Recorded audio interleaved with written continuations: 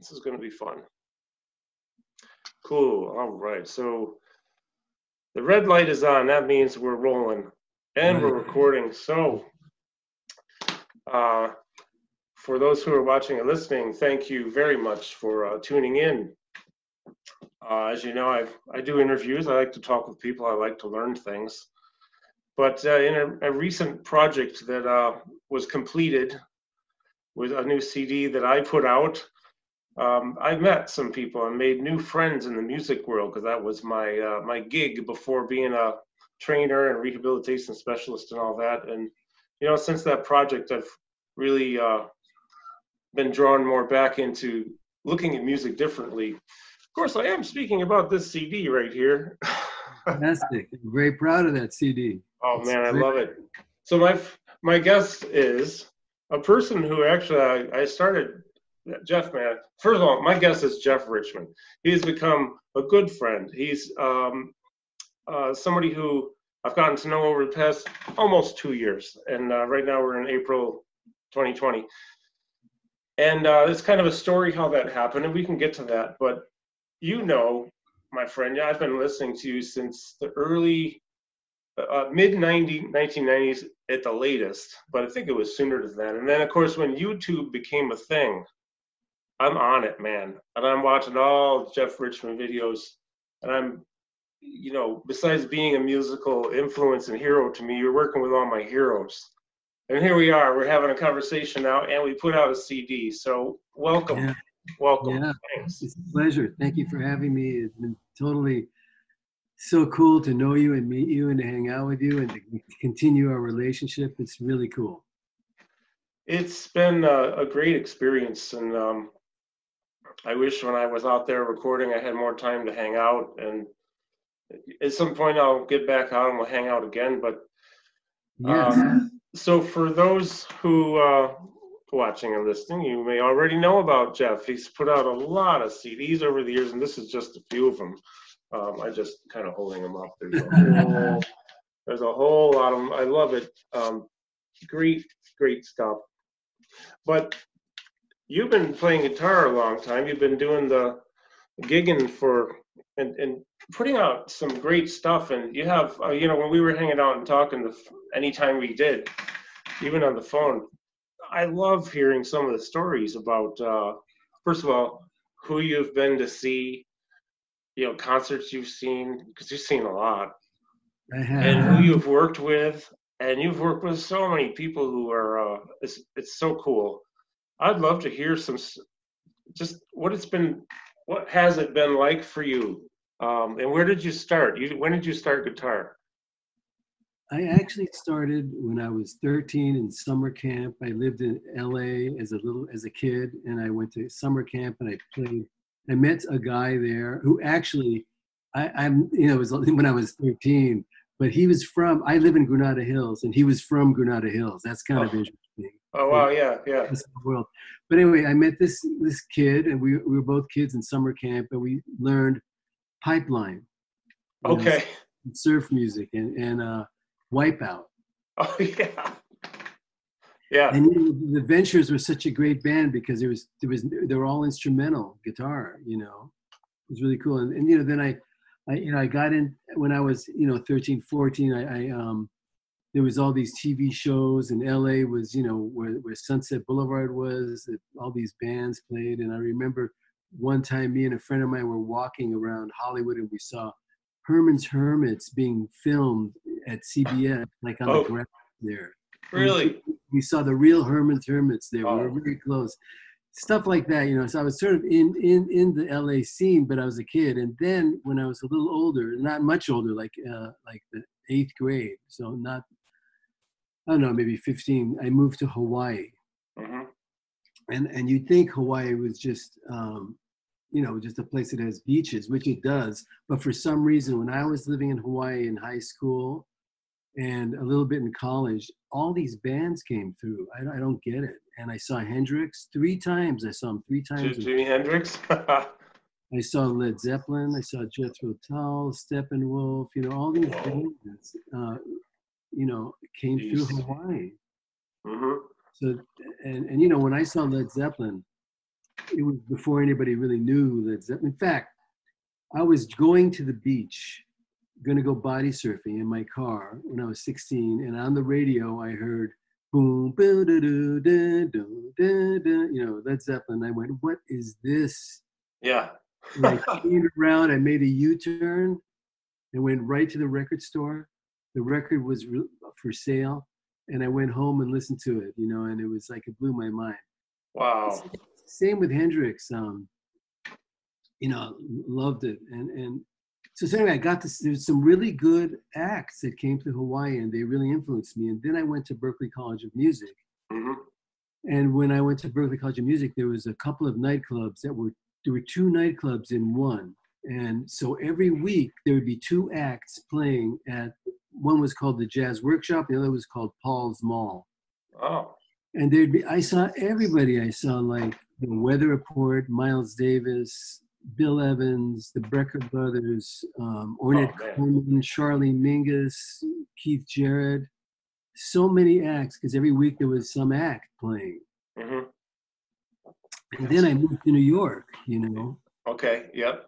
I saw a lot of people in New York, and then I moved to LA. So, so I've been. I wrote down a list of all the, most of the concerts I remember being at. There's, you know, hundreds. So, and they're very influential. Some of those time, you know, some of those. Oh, I'm sure. What What are some of your um your favorites or top of the list that you've been to that you'll just never forget?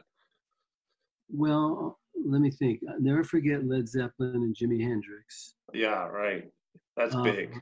I'll never forget Weather Report because I, I didn't know what they were doing. I couldn't tell what they were doing. All I know is it sounded incredible. Who? What was the lineup in the band that first time? I saw well the first time I saw Weather Report was with Miroslav Vitous Really? and Oh. Dom Dom Mao, Eric Gravatt, Oh wow. Joe Zawinul, and Wayne Shorter. Then the next time I saw them was with Alphonso Johnson, Who lives near you? who lives down the street from me. Who I'm friends. And oh then, wow.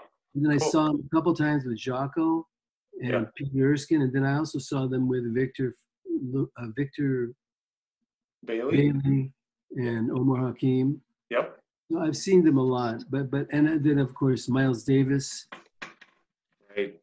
There was one time when I was sitting uh, in the front row, and uh, Miles was just right there, and and he it was funny. He something was messing around with something was wrong with his wah wah pedal, and he bent down to fix it, and then he looked up, and he was like like one and a half feet away from my face, and he looked at me and went, ah. wow, man, that's that's a. Imagine that. That's just that's really cool. then you know when I went when I was in Boston at Berklee, Gary Burton was a big deal, and Pat Metheny played. He was one of my teachers, Hmm. and Pat Metheny played with Gary Burton with Mick Goodrick, two guitars, and that was really cool. Oh yeah. I don't know. That, that, that's just so- some just a, a little inkling of some of the stuff that was influential. There's a lot others too. Oh, I'm sure. I'm sure. Uh, I'm trying to think. I saw, yeah, I saw Miles twice, but it was in the '80s, and it was uh, large venues, so I couldn't get up close. Yeah, I saw him at Grant Park in Chicago with Mike Stern, um, Marcus Miller, Al Foster, and Sina- Minu, Minu on percussion. Yeah, that that was a great band. That was one of my favorite bands of his. Yeah. Yeah, I really enjoyed that show. Um, that was Grant Park, Chicago. The next time was in Syracuse at a, a, a theater here. It was you know, one of our larger ones. You know, Mike So- Stern was a really good friend of mine. Yeah.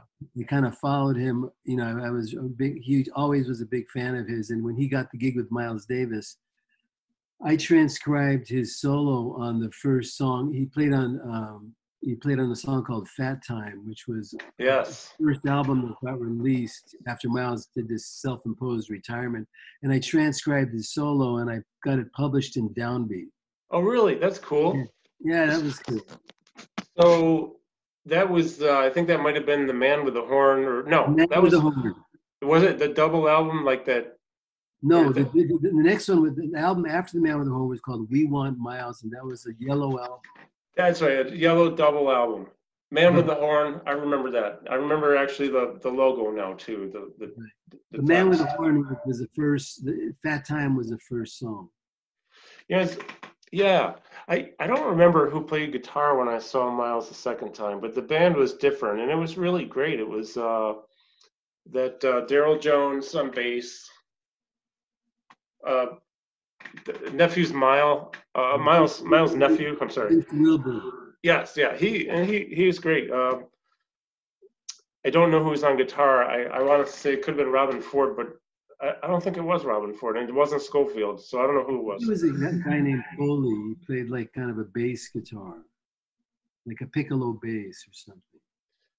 Yeah, I don't remember, but uh, it was that was a fun show because it was uh, smaller venue, but still I couldn't get up close or anything. But it was good. It was good. And then Weather Report I just saw them. I saw, I saw them with Jaco, Peter, Bobby Thomas. Um, do you know Bobby? I met him once a long time ago, but I don't really know him. Um, he's nice. I mean, we haven't talked yet. We've been messaging a lot because uh, I'm not even sure how that happened.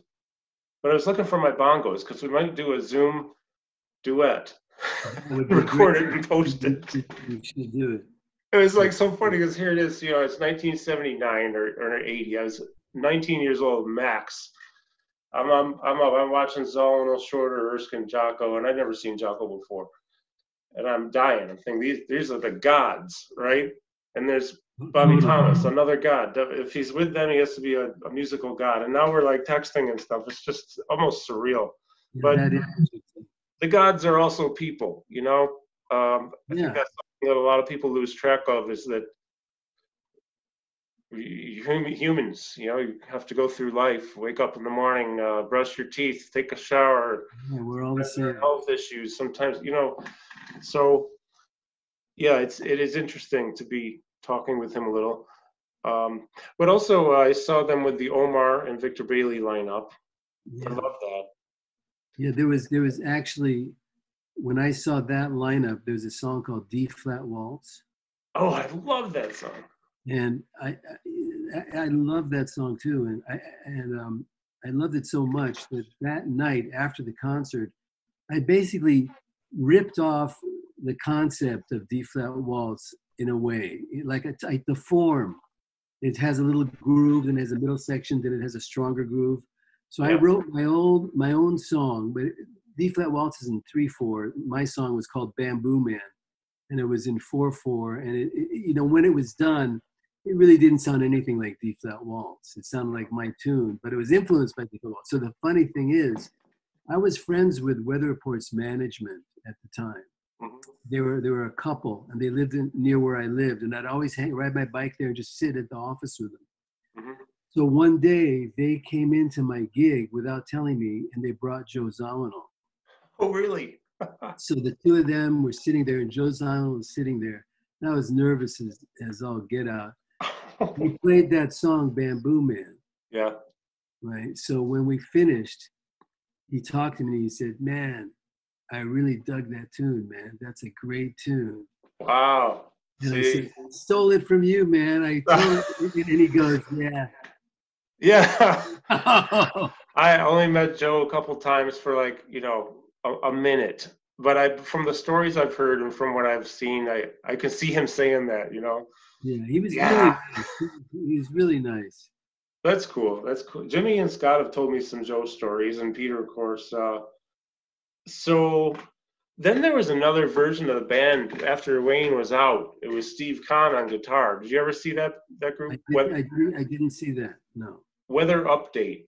Weather Update, and so there was Domino Syndicate. Right. Yeah, that came after. Right. So I think Weather Update had Bobby Thomas too, and it was Steve Khan, Peter, and Joe. Mm. Victor Bailey. Yeah.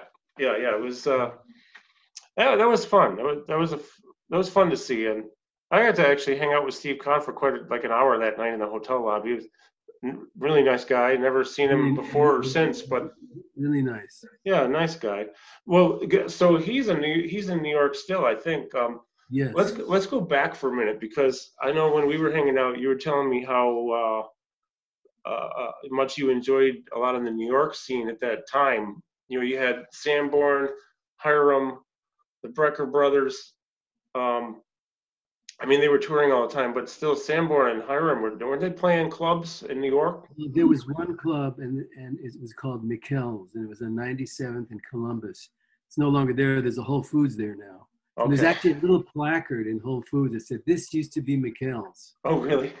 yeah.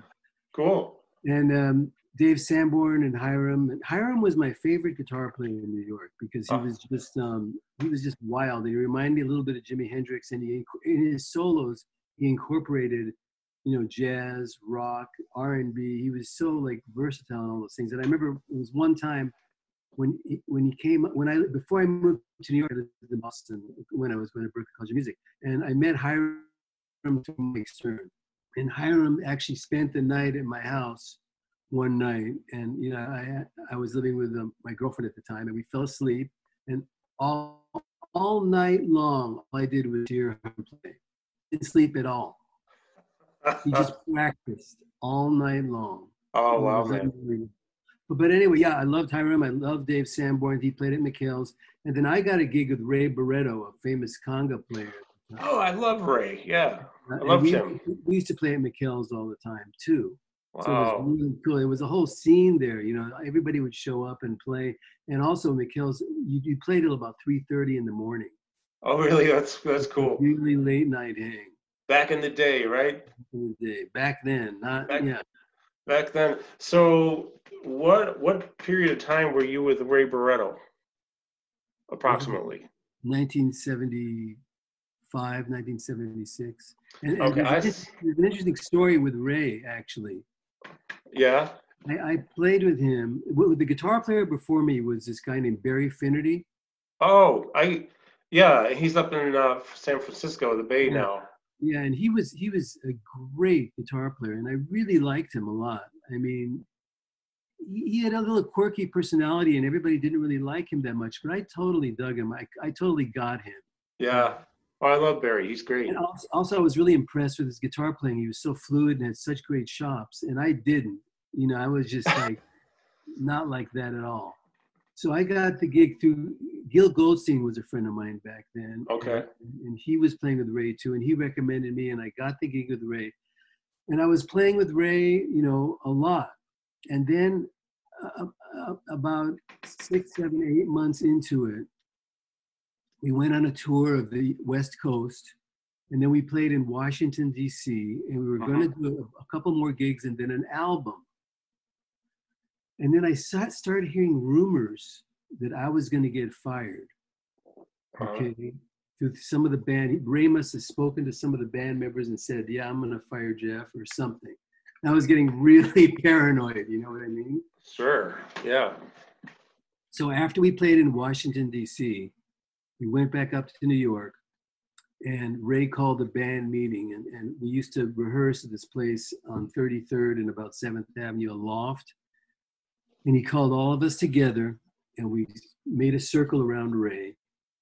And he said, "Okay, we have a bunch of really heavy stuff happening right now. We've got a two-week tour of the West Coast. We're coming back to New York. We're going to play at the Playboy Club, and then we're going to record an album. So this is really serious, and I'm going to I'm going to pin, I'm going to tell everybody what I don't like about them. okay. So he, said, he said, Jeff, you know, I was 1st mm-hmm. So it led me led me to believe that I was the reason for this meeting. You know what I mean? But he was yeah. kind of very benevolent in his approach, and this is what I remembered that he kind of included everybody. But he went to me first and he goes, okay, I had this volume pedal, you know, and the volume, it brings in the, the volume in and out, you know, it was sort of like, I, I grew up, I was in Hawaii, it sort of sounded a little bit like Hawaiian guitar, but it was influenced by Larry Carlton because Larry Carlton at the time just broke, broke through and he was really popular and he used, and Robben Ford and both those guys used volume pedal You know, if you remember on some of the Joni Mitchell albums or absolutely, yeah, yeah. So he goes, "I hate that volume pedal. It sounds like Hawaiian music. Throw it out."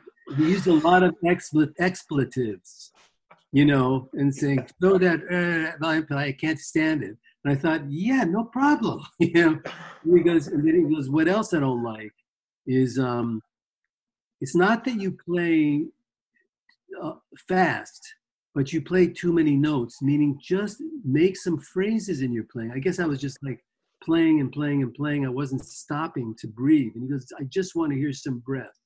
Oh. I said, I said, okay. And then the third thing he said was, when you play, if there's some chord changes, I want to hear the changes in your solo. And I thought, wow, cool. I'll do that. Mm-hmm. And I said, thank you for telling me this. I mean, I will definitely do all those three things. The things are doable. Yeah. And then he went to like the saxophone player was Todd Anderson, and he said something like, "I love everything about you except when you don't play, you look like a schlub sitting there. Do something." You know. So he went to everybody and he told them stuff. But you know, I really took it to heart, and I was very grateful because you know, most guys who are leaders like that and old time, old school guys, they just fire you. You know. Yeah. But the thing that I realized, the reason why he didn't fire me was this was because I wrote five tunes for Ray. Oh. He really liked those songs. Oh, cool. And he was planning on recording them. Mm-hmm. So he thought, if I get rid of Jeff, then I'll get rid of his songs too, and I don't want to get rid of his songs. So mm-hmm. that that was really my way in with him. And then the other thing, the final thing I want to say about it is, from that moment on, when I played with Ray, I played for Ray. Okay. Remember that he was always sitting in front of me and when I play, I kind of look at him, close my eyes or whatever, and play, do exactly what he wanted me to do. And after every solo, he turned around and went, "Yeah." You oh, know? Oh, that's cool, man. That's a great so, story. Everything worked out. I got into the recording studio. I took five solos, and four of my tunes got on the album. Wow, that's a, which album is that? It's called "Can You Feel It." I think I have that actually. I think I have it on vinyl because. I think it only uh, came out on vinyl. Hmm? I think it only came out on vinyl. Okay, yeah. Um, I'm sure I have that because I grew up in a house where basically two kinds of music: big band, like Woody Herman, Maynard Ferguson, Stan Kenton, Buddy Rich, Louie Bellson, big bands. And and and then of course one night we were out and uh, I remember. Did you ever know the Baron, John Van Ohlen, the drummer? No. Uh, so the Baron, they called him, and I'm not sure why. He just passed away a couple of years ago. Uh, mm-hmm. He was Stan Kenton's drummer for quite some time, and then Peter Erskine came in right after when Peter was like 18. Okay. So when I was 10 years old, I saw Stan at this little this little restaurant, and they packed like 15, 16 guys, 17 guys into this little space two years in a row. First year is the Baron playing, second year is Peter. That's where I got to meet Peter. But the first year, uh, Stan came over to our table because we were right, like Stan was. If you stood up and reached over, you could play the low notes on his piano. That's how close we were. And uh, he was a tall guy. It was like God came over to the table to talk with my parents and me. Wow, my dad said to at some point, he says, "What's your favorite music? Who's your favorite musician?" Uh-huh. This Tito Puente. Ah. He says, you listen to Tito, then you must listen to Tito Rodriguez, and you must listen to Ray Barretto, and listen ah. to all of them. And so that was my introduction when I was around 10 or 11 to Ray. Ah, okay. I only saw the band once in 82 or 3 in Chicago at, at Grant Park. Uh, but I, I know I have Can You Feel It on vinyl because. Well, you know, he was going into more of a fusion direction then. He was known for salsa. And yes. so he, he sort of changed directions. Well, it was interesting because when I when I saw him at that concert, uh, I'd never seen a, a, salsa band. I didn't know that there's like no drum set usually in a real authentic situation, and there was no drum set on the stage with Ray's band that night. I was wow. Actually, at first I was disappointed, and then I was really happy because uh, it, sounded it, it was so great. Um, well, you um, know, he, he had a real he was he was just a conga player, you know what I mean? But he had a real talent in selecting musicians. He had a really good yeah. ear, ear and he, he could he knew when somebody was would could help him. You know, uh-huh. kind of like how Miles was. Miles picked out certain guys that shaped his band. You know, Wayne Shorter, Herbie Hancock, every all the way down the line. Oh yeah, yeah. Well, that's interesting so about band leader. He, Ray was a really good band leader. That's really cool. It's, it's nice to hear that story too, because I really have, I've enjoyed his music for a long, long time. Well, it's a great story and someone who, who really had a heart and soul and and and, he, and it worked out for me with him really well because all good, not always good stories. You know what I mean? There's in the music business, it's not all you know, roses and.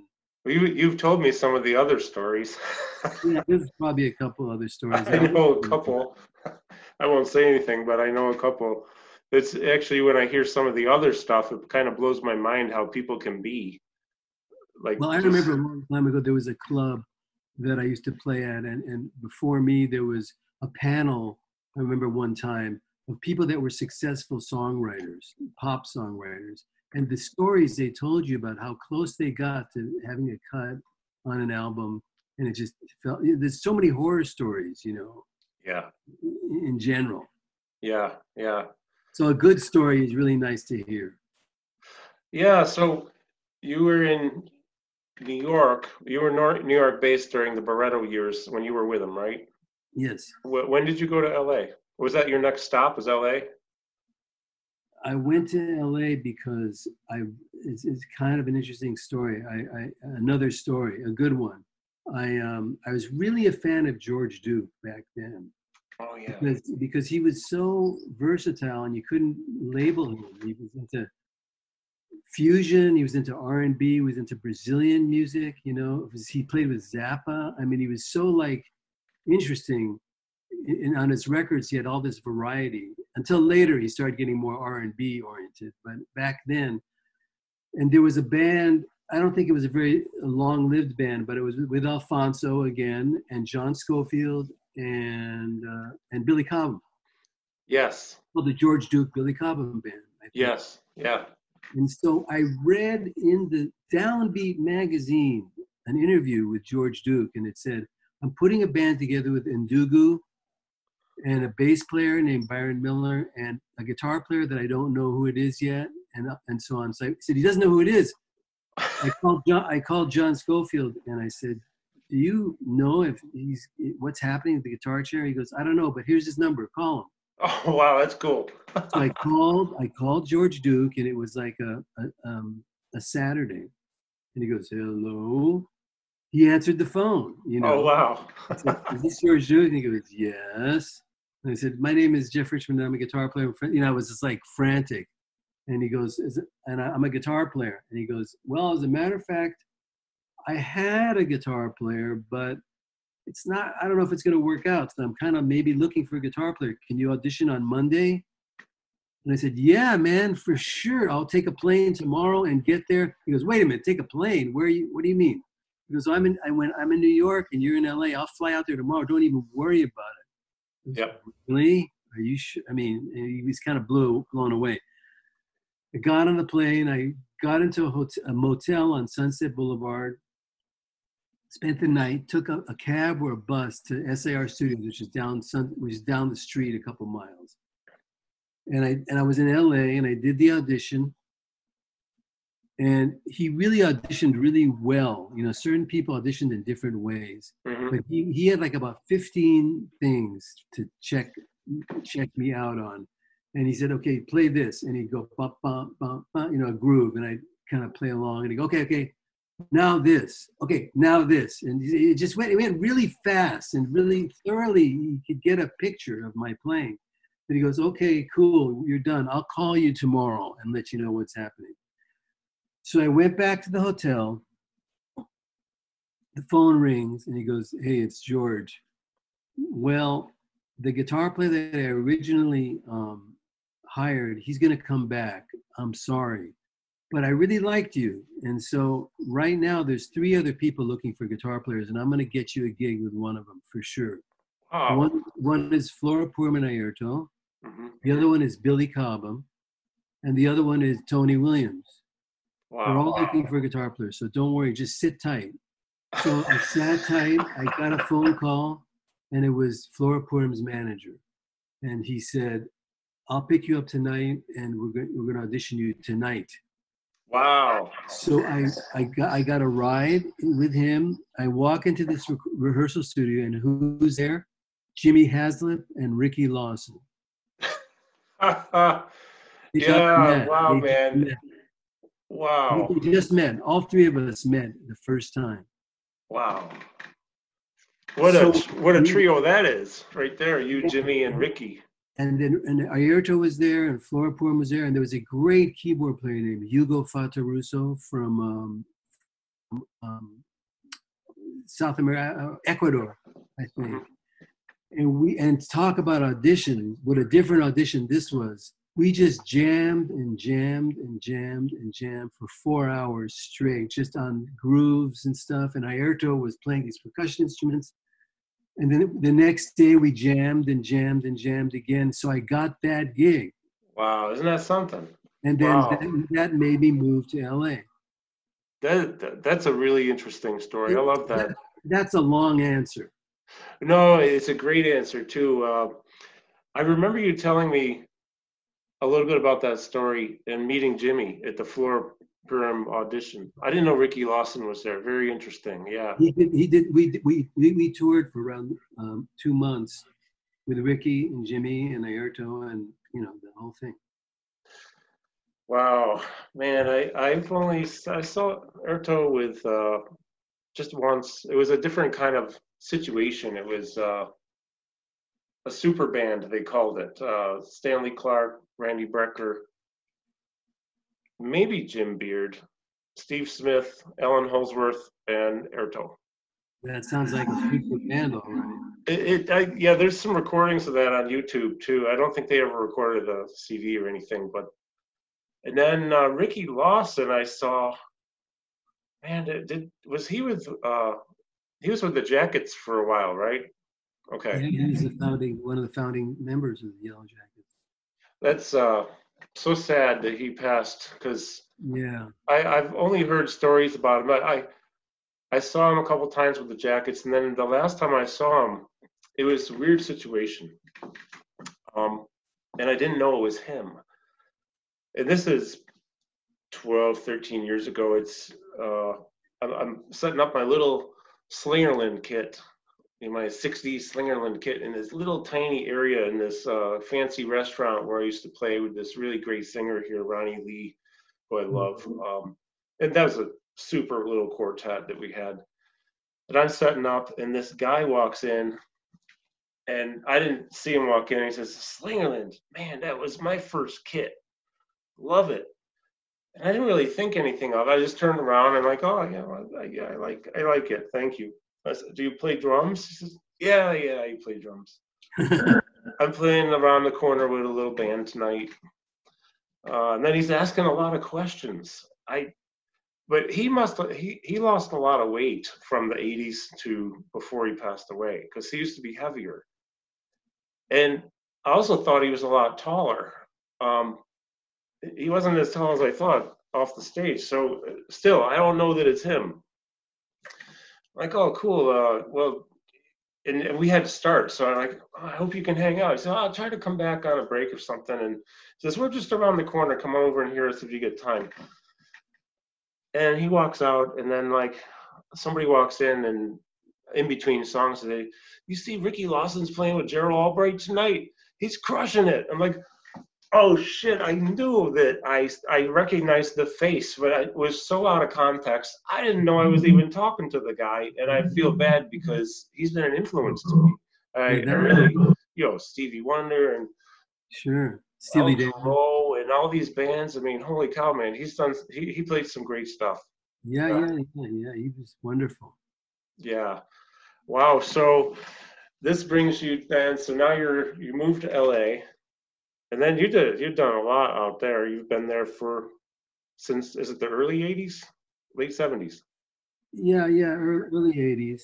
I would say like 19, 1979, 1980, 81, something. Okay. Like well, um, I know you know. Um, well, actually, so some of the videos I used to watch, my son and I would just get on. We'd put on YouTube and we'd see Jeff Richman at the Baked Potato. And, you know, I've heard about this place forever. And so finally, when we were out, uh, when I was out there for the first time we recorded this CD we just put out, Right. Uh, remember, we went over the potato. Saw Lorber with Haslip, and uh, oh, yeah, yeah. I, I, don't remember the drummer's name. He was great though. Uh, Gary Novak, maybe. No, no. I, um, Steve Haas. Yeah, that's it. That's it. Yeah, he was. It was tight, but it was so good to finally get there. And then, of course, you and I are sitting at the bar eating a gigantic potato we each had. Which I didn't know they actually serve baked potatoes there, but I don't know where they get them. They're like uh, actually flown from Idaho. Really? Yeah. Wow, they're like potatoes on steroids or something. They're Miracle-Gro because they're they huge. And there are so many great uh, potatoes you can get, different flavors. That's yeah, it was really cool to be in that club now and then finally see the setup so that when I'm looking at YouTube now and I see you there, I can imagine where whoever it was was sitting who recorded it. And well, that club has such history, you know. I mean, it started over 50 years ago, and it was, you know, it, you know who bought it, who, who started it. it was this guy named Don Randi. Okay. Who was the piano, one of the piano players in the famous recording band called the Wrecking Crew. Oh, I've heard of them. The Wrecking Crew was a band with Hal Blaine on drums and Carol Kaye on bass and all these, Glen Campbell on guitar. And no kidding. Played, wow. Yeah, they played on all these albums with Sonny and Cher, the Beach Boys, um, everything. Jan and Dean, you know, um, that album Pet Sounds by the Beach Boys, they're on that. So, you know, Don Randi bought that club for so he could play there you know, himself. Okay. And he played there like five nights a week. And the other two nights, which were off nights, Sunday night and Monday night, mm-hmm. you have younger, you know, younger, you know, people play there and, and he got like Lee Ritenour to play there and Larry Carlton and stuff like that. And that's where those guys started their careers basically as solo artists at the Baked Potato on Sunday and Monday nights. No kidding, yeah. See, that's really uh that's cool. That's that's really I mean of course right now I guess nothing's happening there because of the COVID, but right but typically it's like seven nights a week they're having music. I think seven nights a week, and it, you know, you know what else about that place? It sounds really good in there. Yeah, it does. And we we were in kind of what I would have normally considered a strange spot to sit to get good sound, and it sounded good. Yeah, Lorber and Haslip and them. Yeah, that's cool. Uh, so what what? I planted the Baked Potato like about once every month or once every two months. And for the last, you know, years, I would put different bands together. Right. And, and so that was kind of fun. Yeah, yeah, that is really cool. Um, what are some other experiences you've had? Did you say you worked with uh, Blood, Sweat, and Tears at one point? Well, a real long time ago when Mike Stern was having, you know, problems. He was playing with, with Blood, Sweat, and Tears, so I kind of subbed for them for a month. I see. Okay. And I was really like green, you know, and I wasn't anywhere near as as together as Mike Stern was. I, I was sort of struggling. It wasn't the greatest gig, but it was the greatest gig for just getting some experience, you know. Yeah, sure, sure. Yeah, well, I mean, what was it like working with that band?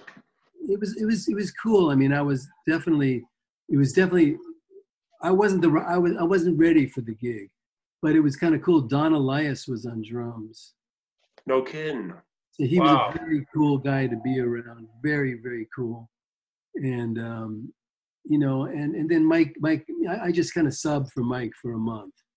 But it okay. was great. It was great. I mean, I, I, did the best I could do. That's yeah. for sure. So is David Clayton Thomas singing? Yeah, he was singing. He, he, he I, you know, he was. I know he's a kind of a strange guy, but um, I liked him. He's uh, a person I've occasionally been in touch with because uh, he lives just like four hours away from here. He's Toronto I, area. I see. And well, he, um, he, has a unique voice, that's for sure. He does. I really, really like his voice. Um, I don't know if he's singing anymore. I don't know if he's gigging, but. But you know, the album I liked was when Al Kooper was was with Blood, Sweat, and Tears. I don't know if I knew that, or I don't think I have any of that. The first album that Blood and Tears made was with Al Kooper, I think. Really? Wow, interesting. I think. Sure. I have to check that out. Um, So it was Don. Oh yeah, Don Alias. I actually met. I've heard a lot of stories about him and being fun to be around. Uh, Peter Erskine told me we had breakfast in Toronto a few years ago. We spent three hours, practically floated away. We drank so much coffee. Uh, he had some of the funniest, funniest Don Alias stories. Um, and another gentleman here, uh, right near me, Rick Montalbano Sr., Montalbano Jr. is living out near you now. He's married to the singer uh, Jane Monheit. Uh-huh, uh-huh. And Montalbano Jr. is a total, total badass drummer. I mean, the guy is serious in every anything he wants to play, and he's stylistically whatever. He's the man. But his father, Rick Sr., used to tour with Lou Rawls, and Don Alias was on the band at the time. Don Alias did a lot of gigs. He was another conga player, percussionist, you know what I mean? And he played yeah. with Miles on Bitches Brew, you know what I mean? Yeah, I forgot about that. And he played with Joni Mitchell, you know, and that with, that great band with, um, with uh, Pat Metheny and Lyle Mays and Michael Brecker. Ah, uh, you know, Shadows and Light. Yeah. Shadows yeah. and Light. You, I mean, I paid a lot of money to get that whole concert on v, VHS back in the 80s. Now it's on YouTube for free. But I mean, you know, to be able to not just to hear it because I have the double album too, but to see them, you know, Incredible. to see. I never saw Joni live. Um, I saw everyone in her band at that band live many times. And Don actually one night he was uh, touring with Sanborn and he was playing here and he was kind of a pretty tall guy too. I think uh, he and Rick Montalbano come out because Rick was there at the show watching, and they were hanging out afterwards. So I got to spend a little time with him. He was just always smiling. Don is always smiling. He seems like he was always happy. I mean, yeah. yeah there, there, was there was one time when my parents lived up in the Bay Area, and I went up there to visit my parents. And, and at the time, the, the in San Francisco, the jazz club was called the Keystone Corner. It's a I've heard of that. Club. It's kind of like the was the baked potato of San Francisco. Yeah. So I was friendly with this bass player named Larry Klein a long time ago. Oh yeah, yeah. And uh, you know, we it was kind of a, not like we didn't we stopped being friends. It's just he his his his career moved on a different path than mine. But we were friendly for a while. He was playing at Keystone Corner with Don Alias and Freddie Hubbard. Right. I think they recorded something there too. There's, a lot of classic albums were recorded there. Probably. And I, I, went there to sort of visit, to say hi to Larry. Larry was really nice, and Don was there, and he was really nice. And Joni Mitchell was there because Joni huh. Mitchell was hanging out with Don Alias, eh, with Freddie Hubbard. Oh, they were actually in a relationship for a while. I think for a little while. Yeah. So I went backstage and I just sat there like a fly on the wall. And Larry Klein was very nice. And and they went to play. And so who was left in the dressing room? Me and Joni Mitchell. And Joni Mitchell, for the whole set, was smoking cigarettes and talking to me and talking to me and talking to me the whole time. And I was just going, uh huh, uh huh, uh, yeah, yeah, uh huh, yeah, yeah, yeah. I mean, it was just like I can't believe I'm this is happening. That was a memorable experience for me. Oh, it had to be. I mean, and then then, then what happened was, you know, Don Alias they kind of broke up, and she got together with Larry Klein, and they got married. Yeah, they got married. I remember. Yeah. Yeah, yeah, and and then I there's a video I just saw the other day. In fact, I downloaded it onto my phone. Um, the refuge, refugees of the road. It's uh, Michael Landau. Oh yeah. Vinny on drums. And Russell Ferrante. Yes, and Larry Klein and Joni, and uh, I mean there's some. First of all, I like the compositions quite a lot, but I mean, you know, Landau kills me. The guy. Oh. I don't know if you know him or not, but I, I mean, I've never seen him, but I love that guy. He's just about my favorite guitar player in Los Angeles. I mean, what what an an amazing talent that he is but that band the band is really they're just smoking they were incredible they were so great i know you know all these people like and you've worked a lot with vinny in fact some of the youtube videos i have uh, downloaded are vinny and you at the baked potato well, it I seems know. like uh, and i don't know i've never met vinny i've only seen him a couple times but I'd love to I knew to him. Vinny, someday. I knew Vinny from Vinny from back when I was at Berklee College of Music. Oh, really? Yeah, Oh, that's yeah, right. He was there for a while, right? for just a month or two. And then Zappa picked him up or something. But I was friends with Steve Smith back then, and Steve and Vinny were friends, and I met Vinny through Steve. And, Okay. And then, then when I came out to remember the the Flora Purim gig, Yeah. I was out in LA for a month rehearsing, and that month, Vinny, oddly enough, was playing with Al Kooper, who I just mentioned. Yeah. That was his first like real gig, you know what I mean? So he was in LA when I was in LA. So we hung out like every day and drove all over the place. And, and, and he's such like a wild personality. So like open and up and very smart and very nice. Had such a great time with him. Then of course he he became the drummer for Frank Zappa, and he became like a, the best. He's super incredible, and he's always been the nicest guy to me. He's so, he's so, he's so such a great guy and such a great drummer. Unbelievable.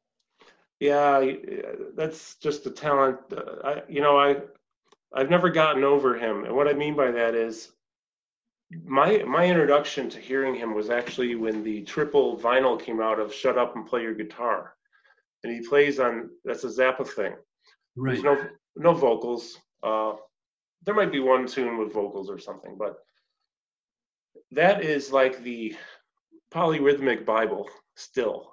hmm I mean, and, and I, I still listen to that sometimes. Um, but that launched me into listening to Vinny, and this is like 40 years ago, literally 40 years ago. And I, I can't get over it. And that's because he's so damn good and he's so versatile and he's he's also evolved, you know, like all great musicians do. They he's become more Vinny than he used to be, if you know what I mean. I mean, you know, you record with him, you work with him. But I love how he's uh, really, really developed and he started out way out front and now he's just at another level, you know? He- What's so amazing about him is like when when he records your music, it's like, it's like he plays it for the first time or second time, and it's as if he's known it all his life. Isn't that something? Wow. like it's like he's known he, he, has such a deep understanding of where it should go and, and it's almost like he'd been practicing it forever and you know it, it's so unbelievable to watch him record but you know when we were recording our album dream Mhm. it was kind of similar to hearing watching peter erskine play Ah, man, what an experience. I, I have a lot of video of that. And when I listen to the final product, um, I just have to show everybody sure this is it.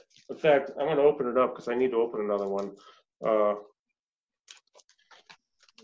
you're getting some from me here. Next week they'll arrive uh, a bunch. But here we've got a, a, if you can see the photo there it is but Yep. there's no on the bottom I can see it's Jimmy, you, Novak, Scott, and me, and on the top we have P- Peter sitting at the drums. right And, you know, when I listen to the final product here, and I think of what raw stuff he had, what everything that was missing, I can't believe how beautifully like it's almost like he could hear the end product while he was doing it. Right. That's kind of what I'm saying. Those there's a few people like that. A few Yeah. select people. Not everybody is that intuitive and that that incredible, but Vinny is one of them. I mean, we spend half the time eating lunch and just telling jokes, and uh, the rest of the time he did maybe two takes max. You know, taking a half, whatever, and he's- done and he's out. Right. He- I know, yeah, the process with Vinny is interesting because you know he's kind of fiddling about, and you might go up to him and say, "Here's the music," and he's not really. He doesn't really care so much about the music yet. He's not. Finally, he decides, "Okay, I'm ready." and then he looks at the music he might ask a few questions and then he goes okay let's let's go and then you know he starts you know and you know um, I, I, I would say something like do you want to go over it one time like first and he goes yeah okay no no no no let's just record it so Wow. usually it's like the first time or maybe the second time it's just magic and then he's back doing his thing getting on the phone or eating something or yeah. wow, man. you know, he, he's a really, you know, like there was one time when I asked him to do this recording. It was one of those tribute albums that I produced a long time ago. Oh, yeah. And um, I gave him the dates, and uh, he said, "Yeah, let's do it." And then he called me like a week before, and he goes, "You know what? I got a, I got asked to do a video with Chaka Khan during those, those dates. I was wondering if I could move move our dates." And of course, I said, "Yeah, whatever you want, man." And he goes, "Okay, let, let me think about it." He called me back and he said, "No, I'm going to keep those dates. If Chaka Khan wants me, she'll call me. I'm committed to you, and that's what I'm going to do. Wow. That's class. Yeah, that's, that's, a classy guy. That's a class act. Yeah. That's, you know, you committed. He did it. He honored his word. He showed up. Yeah, that's that's class, man. That's really good. That's a great example for people. A guy that's as heavy duty as him, you know, because he, he would have been fine if he had moved it. Yeah. But I really appreciated that about him. That's so nice. Yeah. Um, what do you have? Uh, what do you have going on right now, musically? It seems like you've been writing some music during the the COVID time. I wrote. I, have got a couple, like four tunes that I'm almost finished with, and then I wrote this fifth tune just the other day that that I'm really happy with that I and I kind of put it on YouTube, kind of like the first take. It was a little bit sloppy, but it was kind of cool. Not that much is really happening right now, you know. I'm I'm I'm just hanging in there, you know, um, trying to enjoy life every day, and and uh, but you know, I'm just kind of basically writing and recording and practicing a little bit. I've got since you know I'm kind of under lockdown, I've got all these guitars out open. So if I if I just feel like playing one of them, I'll just go and grab one and, and kind of mess around. A bunch of acoustic guitars. Got yeah. four or five electric guitars here. I got you know, but not much is happening. Well, so this might be a good time to segue. Uh, um, I met you originally over the phone. It'd be August this year, it'd be two years.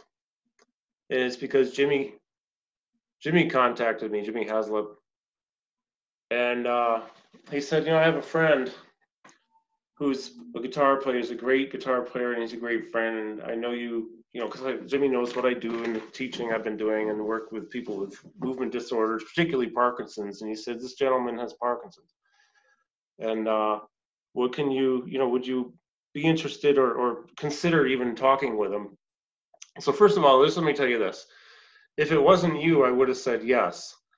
It would have been anybody. I would. I will help anybody. I'll talk to anybody, right? Um, but then he told me who it is, Jeff Richman. Like, what? Wait a minute. I mean, that guy, that Jeff. This is more than one Jeff Richman. No, no, this is the Jeff Richman you're thinking it is. And so, in in in that respect, uh, it was it's been a, actually it's just been a great experience to get to know you and hang out and tell funny stories and i love hearing your stories man some great stories but um, as i segue into this too and I, for some reason my brain's not working here i think i'm a little overwhelmed with thoughts is is um, but i'll just focus down this path is we started talking and how how has uh how have you found first of all that having living with parkinson's has affected you uh, as a musician let's say in your technique or your playing or what kinds of things are you are you battling um, currently? And it, like has it changed very much since your original diagnosis? Because it's been a few years i think right? It's been about maybe 10 years. Okay and I, I, mean it's maybe it's gotten a little bit worse but thank god it's not is, is I, I, wouldn't call the word miles, but it's a condition that, you know, mild. I wouldn't call it a mild, but it's like a condition, you know, that I have that I'm aware of. And it affects my playing in, in a couple ways. One way, it makes me not as motivated. It used to be, I used to be really driven, you know, like really kick butt, always hustling. So it's kind of like dampered that a little bit. And then the other thing is, um, when I play, when I physically play, since I have a little bit of a tremor, it's not terrible, yeah. but but um, I, I kind of miss notes sometimes. Now the funny thing is, a lot of other people don't really notice that I'm missing notes, but I notice it. And there's certain things that I can't pull off that I used to pull off. I used to be, I think, really good. Now I'm just okay. I can't pull everything off. But the weird thing is, it's it, it's psychologically, when I miss a note, it messes me up psych- psychologically. You know what I mean? I get all insecure and I get um, you know, kind of depressed. So I have to. It's it's almost not the Parkinson's that I fight. It's my mind getting insecure about my playing. So a lot of times I push myself to like keep playing and not think about that stuff, and it gets better. You know, it kind of I, I eliminate that. Yeah, yeah. Uh, because the missing of the notes isn't isn't so terrible actually. Mm-hmm. It's more the psychological impact of that missing the notes that messes me up. Yeah, I mean, you know, am I making sense? I, I totally. So I'll, I'll use a, another analogy here. Is uh, you know, any one of us could be holding on to a cup of coffee and you know spill it or something like that, right? And I know so many people who have uh, a tremor for one reason or other, or just lack of control, and you know, many times Parkinson's might be involved. Um, but the spilling of the coffee or the water that's that's never really the big deal. It's the impact psychologically. Right. Um, oh, I spilled it. Um, am I going to spill it again? Am I going to lose more control? I mean, there's things I hear from people. Uh, did anyone notice? Did they upset anybody? Yeah. And you know, statistically, um, it's well documented and well known that depression is the number one non-motor symptom in Parkinson's. Generally speaking, it doesn't mean that everyone with who lives with Parkinson's is actually depressed, or if they experience it, it's not all the time. Although for some it is all the time. And anxiety is the second second most uh, statistically second motor non-motor symptom. And the, then the anxiety can exacerbate motor symptoms, so it becomes more so there's a lot of psychological stuff that can happen. Exactly, exactly, and i think you know the lack of dopamine even if you're taking like sinemet or levodopa those replacement medications are not the same as the real deal. And they may kick in and make you feel just fine for a while and this is different for everybody too uh, and sometimes it's based on their level of activity too if they're more active they have a longer lasting effect or better effect um, but even that's not always the case. But bottom line is, uh, dopamine is also a motivator. Dopamine is something that will get you up and right. get you moving. Right. So it, while I'm sad to know that you have this, and I've known it for a couple of years, um, it, you recognize these things and you battle against it anyways, and that's why I, I some people don't like it. Most people don't mind. I call them people with Parkinson's who have that attitude of a, a a fighter, like a PD fighter. You you're combating and you're fighting back, and you're not letting it define you. You haven't given mm-hmm. up. You aren't Parkinson's. You live with it. I almost think that in a weird way, like it's a pet or my pet dog. You know what I mean? That's always with me. Sometimes it's kind of not that easy to be around the, this animal. You know what I mean? And sometimes it's it's great. You know, yeah. it's okay it's kind of it's it's it's it's a condition that I have. It's not like a disease, a condition. It's like something that I have with me, and, and a lot of times I feel um more. I'm a little more reclusive, shall we say? You know what I mean? And I'm kind of shy away from getting in the car and going somewhere and doing something like I used to be. But if I push myself to talk to somebody or be with somebody or go out, it like it's better. I yeah. feel better. It's like a natural dopamine in a way. uh, you know, I just uh, the other day I just was talking with this guy who who's written uh, a lot of my favorite books. Um, a couple of them I don't have up here, but this Harvard professor, he's an MD, John Ratey, Dr. John Ratey wrote this and this, and okay, those are great books. I'll have to send you the. Uh, uh you might really enjoy these. I think you would enjoy them a lot, especially when he gets into talking about the brain and how it works and how dopamine can be created. Uh, oh, there's another thing too. A, a brain, um, uh, a growth factor can be created by doing things you like to do, and by doing, let's say, just getting out and walking, you know, as, as briskly as you can while still being safe. It's called brain derived neurotrophic factor. And he talks about that one a lot in this book. So you get serotonin, you get brain derived neurotrophic factor, you get dopamine when you're doing things that you like to do. All of us get that. I mean, all of us, because we all have brains. We're all humans. Um, and what I like is that you, when you push yourself, like you'll push yourself to do stuff, and then you recognize you feel better. That's one of the ways to keep fighting too, because otherwise, man, it could get really bad. Yeah, if you just stay by yourself, and you just kind of sit around, which I do, but you know that's not good if you do it for too long. Yeah, most people can't do that and be okay long term. Yeah. Yeah. I like my alone time, but not that much. Yeah, exactly. That's why I keep the guitars out. You know what I mean? I pick up something. I can. I keep some. Uh, I can have some music books open so I can immediately look at something and play along with it. And um, trying to write music, trying to practice electric guitar. You know, and also you know listen listen to a bunch of stuff. Yeah, sure, sure. Yeah, when we do things we like to do, we're going to have uh, the dopamine dop- dopamine effect. Uh, but, but but you're right about the whole Sinemet thing because what it is is like you start feeling you, you take it you take the Sinemet that's what i'm taking and it feels you feel okay and then you start noticing you kind of lose track and you start noticing god i'm feeling kind of depressed or not not right and then oh it's because i need some more dopamine. Yeah right right yeah um it's always up and down up and down up and down.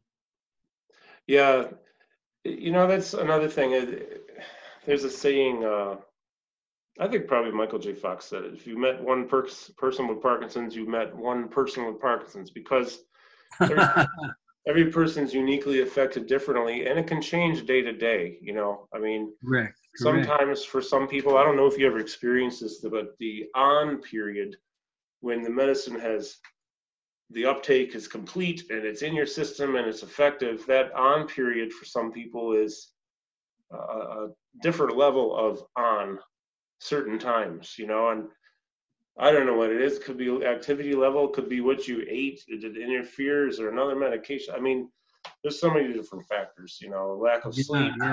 It's mysterious. I think a lot. You're right. Some of it has to do with eating. What I've heard, what I heard from my doctor was to not eat protein at the same time that you eat uh, some dopamine. Yes. You know, I wish I knew why. Um, nutrition's not the, although that's what I went to school for. It's still not my strong point in relation to Parkinson's and medication. I mean, I can tell you that uh, there's a lot of good material out there that says if you go 100% plant based, you're probably going to be uh, clearing up a lot of stuff. But I'm no doctor, and I can. I'm not plant based. I I have my healthy meat here and there, and uh, I was a vegetarian for three and a half years. I just I didn't feel good, and now I do. Um, but yeah, lack of sleep is another big one too. Do you how are you, how is it for you sleeping? Do you sleep well? I sleep, I sleep pretty good. I mean, the only thing I'm on sort of a schedule now that sort of I go to sleep sort of early and I wake up early. Yeah. But I go to sleep around 10 30 11 maybe something like that 10 11 and i wake up at about 5 30 or 6 i wake up a little early but I sleep seven hours or so. I'm, I'm, I'm pretty good. You know what I mean? So that hasn't really affected. Sometimes I sit on the couch, watch TV, and I notice I fall asleep. Uh-huh. So I don't have any really sleep problems. I don't think. That's good though. And you know, one of the things that's really, really important, and this is well documented too, is it, getting into a structure for your day. So if your structure of your day is around 1030, or so, or half an hour later, whatever. Within a half an hour, like 10, 30, 11, every night you go to bed and you wake up the same time every morning. If you stay in that, it's just so much better for you. Well, I've and, noticed the whole COVID thing has made me be like that. Yeah, as a matter of fact, yeah. Are we, is the time running out? Oh, no, I wanted to show you something. I've got a few more minutes here. Okay. Uh, but I want to show you, there's a book, and of course, I want everybody to see it too my chiropractor not always not all chiro- chiropractors are created equal. I just happen to have a really good one. and we send books back and forth titles. This one is called Why We Sleep. Okay. And I have to tell you, this book completely changed everything about how I look at sleep and how I structure my my day, generally speaking, so that I get enough sleep. Because I wasn't getting enough sleep because I figured I'll sleep when I'm dead. Problem is, you might be dead sooner. So, um, but no, the the effects of sleep are so deep. I had no idea how much it can affect a, a person on a daily basis, on a short term basis, on a long term basis. And it really changed because now I go to bed earlier too, and I get up earlier, but I have pretty much the same schedule and I feel so much better now. That's great. I noticed that it makes a big difference as well. Yeah. Yeah. Um, so let's see. What do you have going on right now? Any uh, last time I saw you about a year ago, we went up to. Uh, oh, remember we went up to Jeff Beal's house? Yeah, we recorded him playing on uh, on one of my songs. That was that. That's another talented guy right there. When he did that beautiful, uh, was it flugelhorn solo? Mm-hmm, mm-hmm. Yeah. Whoa, man! And now, where's what's the status of that recording? Is that that's that one what I no what I said earlier. That's one of the four tunes that I finished. I've been taking a long time, but I've got four tunes that are done and now this fifth tune. So I'm just kind of going to write a bunch more and, and, try to put something out eventually. But that that's not out yet. No. Okay. But that's with Vinny on drums, actually. Yeah, right. I remember that. Yeah. Yep. And a bass player and a bass player named Dean Taba played bass on that. Okay. Yeah, I love that tune. I, I really, uh, I really enjoyed watching Jeff uh, record that solo. It was great. Um, it was so great. Yeah, and the tune is great. Um, Thank you. It was so, fun to hang out with you. Then it was really cool. I'm glad I could do. That was, that was a that was a great time, man. And then I saw you play. I saw you do a gig, and I don't know who was in the band. I just remember uh, going to. I remember we had. I had some really hot ramen uh, noodles next door, like spicy hot. What uh, gig? You know, I don't know. It was on the second floor of some like uh, outdoor shopping center almost. A lot of restaurants. It was like a bluish interior. Blue Whale. Is that a place? Was it with a singer? Uh, yep. Oh, her name is Kathy Siegel. Female She's singer. Very enterprising. She's always got stuff going on, and she lives right down the street from here. Oh, okay. So that was yeah, that was that was that that's fun. She's a really great, uh, great person, a great singer, really awesome, really cool. Yeah, you were playing your butt off, man. If you hit any wrong notes that night, I didn't hear any. Uh, I'm sure I did. and then the remember the place next door where they had the ramen? Yes. Whoa, man! I that was so good because it was really, really, really, really on that, fire, spicy, like set me on fire. Yeah, yeah, yeah. That was Japantown. So. Okay, okay, that's right. Yeah yeah, that was really good. I remember that now. I remember that. That was very cool.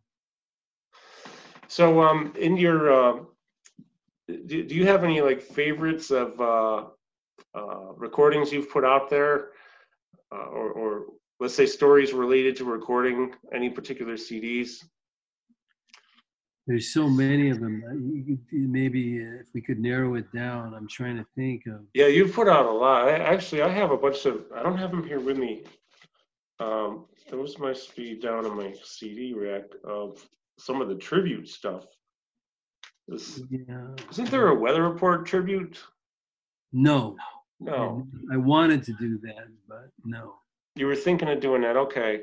What are some of the tributes you've done? I did, I did a Coltrane one, a Miles one, yeah, Mahavishnu one, a Santana one, a Jeff Beck one, and a Steely Dan one. Oh man. Okay. I have the train and I have the miles and I have the. Uh, actually, those might be the only two. No, no, no. no. Mahavishnu, I have that one too. Oh, the Mahavishnu, yeah. The thing that's cool about that is uh, the, the whole concept of these albums was in every track I'd get a famous guitar player to be featured on. Mm-hmm. And also I got to be featured on one too. so I have a lot of interesting stories about some of the guitar players that passed through.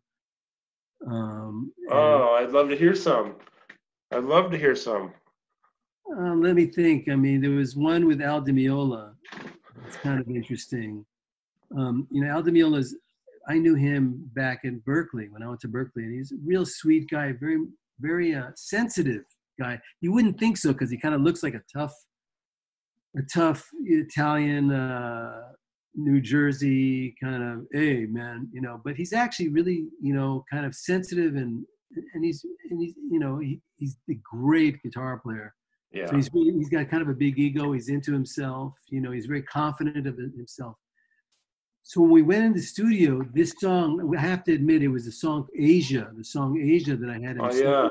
And, and I altered it and made it in seven, you know, the time signature being seven, four yeah. and a lot of chord changes. And, and I put him in there in the studio, and it was sort of like, oh my God, what am I doing here? You know, and since he knew me and trusted me, he, he like, he was sort of a couple times, he was like, Jeff, what do I play here? I don't, I don't know what to, what, what scale, what scale do I, you know, and here Al Di Meola, the, the, you know, the legend, tell, asking me, what scale do I play on? And, but I just went, yeah, it's it's a, it's like a, a, it's this scale. And he goes, oh yeah, oh yeah, right. And he and then he would do it, and he goes, what do I play here? What do I play here? And he was really like opening up, and it was really sweet, you know, because he, he wanted help, you know what I mean? And it was great that he trusted me to ask him for help. Yeah. So we're moving right along, everything's sounding good.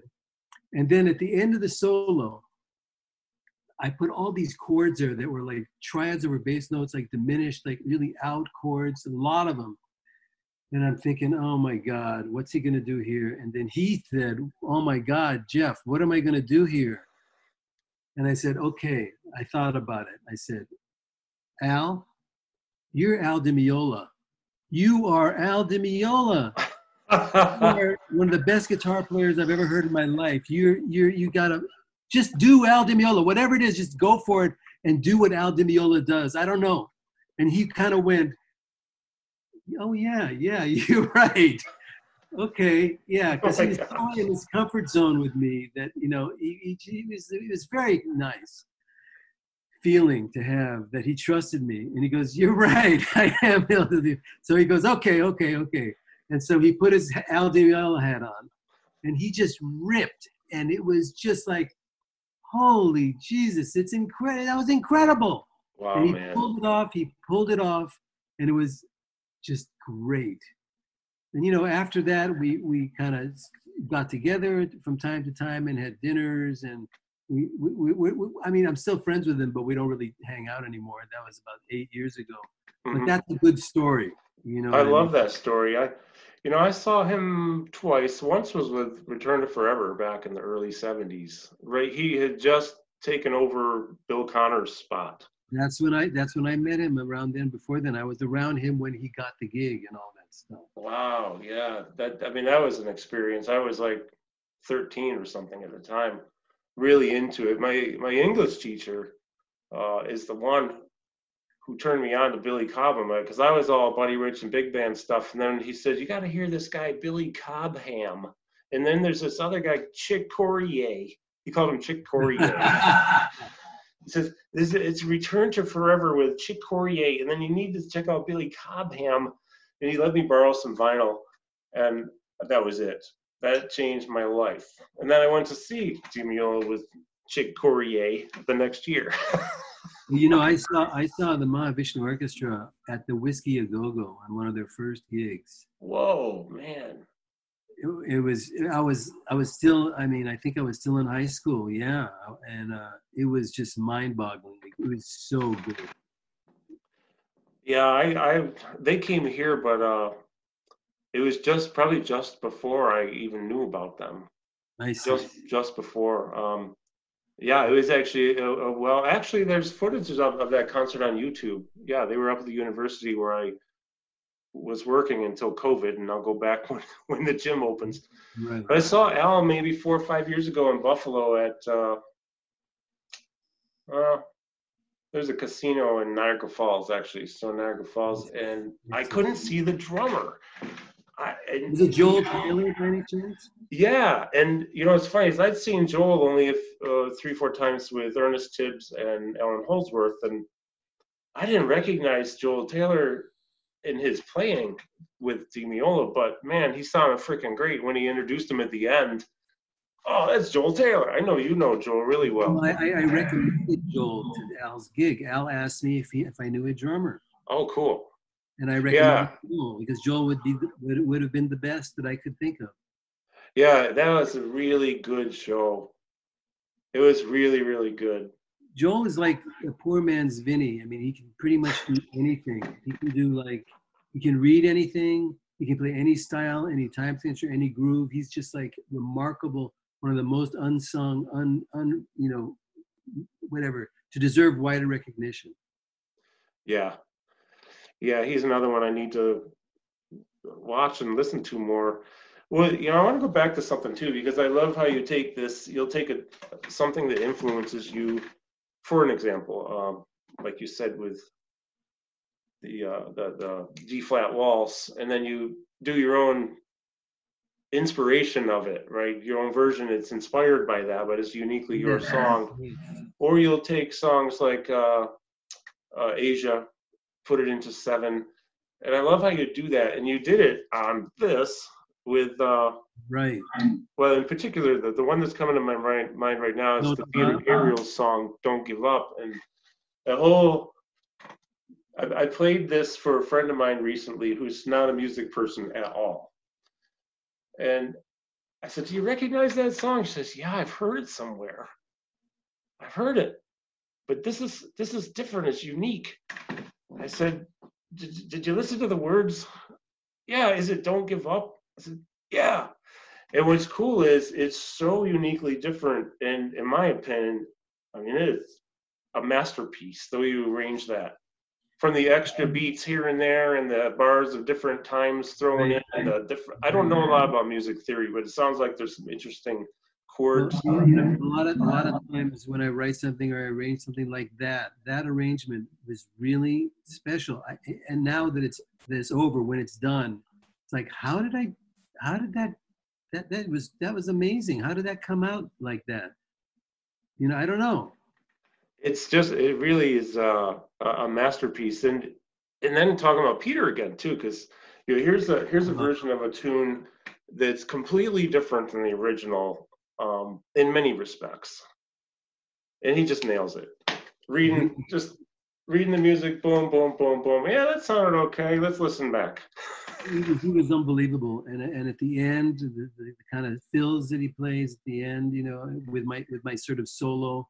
Oh it's, yeah, it's really unique. It's really I'm really proud of that. I gotta say, I gotta say that's I think the proudest moment on on the, on the whole album is that arrangement for me. Oh yeah, I absolutely love it. Absolutely love it. Plus, I love that song, anyways. Um, and, and I really appreciate for you giving me the opportunity to do it. Oh well, the whole thing's been an honor for me. You know, getting to know you, um, uh, just just everything. The other thing too is like Peter has this um, elasticity that's involved in that. Well, in, in general, he has that anyways. That when he's in a situation where he can be elastic, he's like Elvin in a, in a way, in his own way. I totally get it. And like this, there's some parts my son was even saying because he's he knows a lot about music more than I do. He's saying, "Man, like how did he pull off those things towards the end of the song with that feeling? It's almost like he wasn't quite there, but he's right there." Well, it's, kind of it's, it's, it's, it's, experience. It's all the years. It is. Yeah, it really is. It it really shows. It's just it's just amazing. I still sometimes my head spins when I think about who's on this thing. Right. And then and then the fact that my name is here. I mean, come on, man. I never thought I'd do that. Well, thank you. For, it's great. I'm really proud of it. I can't wait to get a copy of it. Oh yeah, you'll get about 20 of them here soon. Okay. Um, so, you know, I think we should do this again sometime uh, soon. Let's do. Let's do. Because uh, there's a lot more you have to tell us. I know there is because I've heard it already and I want to hear more. I'm writing like this sort of book about stories of mine. So, um, oh, good. I'm doing it during this time. So I'm kind of having fun with that. Yeah, yeah, do that. Do, do the book. Um, I'll be the first one in line to get a copy because it's just, you know, for me as a, a, a former musician for a career, if you will, um, hearing the stories about people who I, I really was influenced by is is always interesting. And I don't know why, you know, but it is interesting to me. And, and I think what it really comes down to is the humanity part of it. We're humans and you know, I mean, everyone has their quirks and their issues. I'm quirky as hell, if you really know me. I just try to keep it to myself. But I mean, like you know, it, the stories they're great, and, and there are a lot of inspiring stories too. Like what you say, I remember you told me. Uh, I won't say the other person involved in this, but I will say that you told me a, an inspiring Dave Weckl story about his generosity in that situation of having to redo a recording.